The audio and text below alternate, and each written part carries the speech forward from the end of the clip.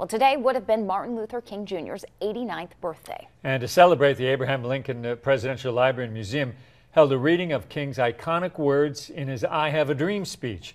Photojournalist Andrew Rutherford caught it all on camera. Five score years ago, a great American in whose symbolic shadow we stand today signed the Emancipation Proclamation. If Martin Luther King had a dream, then why can't we? Because that dream was really inspirational. I, at first, I had never heard the I'd have a dream speech. It was very good to hear.